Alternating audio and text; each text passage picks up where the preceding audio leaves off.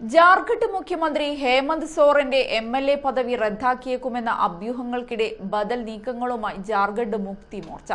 സ്വന്തം പേരിൽ ഖനി അനുവദിച്ചതിലൂടെ ചട്ടം ലംഘിച്ചുവെന്നാണ് സോറിനെതിരായ ആക്ഷേപം. ഇക്കാര്യത്തിൽ തിരഞ്ഞെടുപ്പ് കമ്മീഷൻ ഗവർണർക്ക് ശുപാർശ സമർപ്പിച്ചിട്ടുണ്ട്. ഗവർണറുടെ തീരുമാനം സുപ്രധാനമാണ്. ഹേമന്ത് സോറനെ അയോഗ്യനാക്കിയാൽ തുടർ നീക്കം എങ്ങനെയാകണമെന്നത് സംബന്ധിച്ച് ജെ ചർച്ച നടത്തി. ഇന്ന് എം എൽ എമാരുടെ യോഗം റാഞ്ചി വിളിച്ചിട്ടുണ്ട്.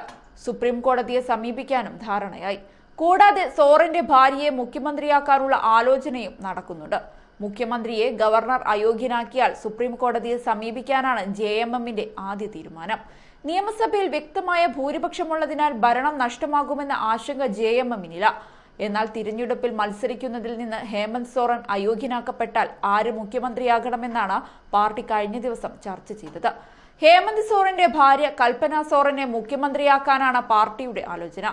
ഇതുവരെ രാഷ്ട്രീയ രംഗത്ത് സജീവ ചർച്ചയില്ലാത്ത വ്യക്തിയാണ് കൽപ്പന സോറൻ. നിലവിലെ പ്രത്യേക സാഹചര്യത്തിലാണ് കൽപ്പന ചർച്ചയിൽ നിറയുന്നത്. കൽപ്പനയെ മുഖ്യമന്ത്രിയാക്കിയാൽ ഹേമന്ത് സോറന് തന്നെ ഭരണം നടത്താൻ സാധിക്കുമെന്നാണ് പാർട്ടിയുടെ വാദം. അതേസമയം ഹേമന്ത് സോറന്റെ എം എൽ എ പദവി റദ്ദാക്കുമെന്ന പ്രചരണത്തിൽ ഇതുവരെ രാജ്ഭവൻ പ്രതികരിച്ചിട്ടില്ല. ഗവർണറുടെ തീരുമാനം സർക്കാരിന് ഭീഷണിയല്ലെന്ന് ജെ എം എം വക്താവ് സുപ്രിയോ ഭട്ടാചാര്യ പറഞ്ഞു. ഗവർണർ സോറിനെതിരെ നടപടിയെടുത്താൽ സുപ്രീം കോടതിയെ സമീപിക്കുമെന്നും അദ്ദേഹം വ്യക്തമാക്കിയിട്ടുണ്ട്. B J P M P നൽകിയ പരാതിയിലാണ് സോറിനെതിരെ നടപടി വരുന്നത്.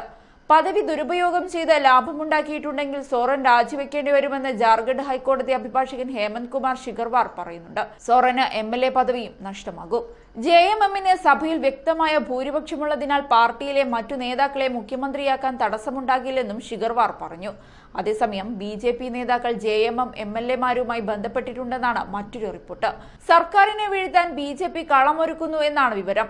ഈ സാഹചര്യത്തിൽ കൂടിയാണ് ഇന്ന് റാഞ്ചിയിൽ ജെ എം യോഗം വിളിച്ചിരിക്കുന്നത്. ഗവർണറുടെ തീരുമാനം വന്നാൽ എന്ത് നടപടിയെടുക്കണമെന്ന കാര്യത്തിലും എം യോഗത്തിൽ അന്തിമ തീരുമാനമുണ്ടാകും.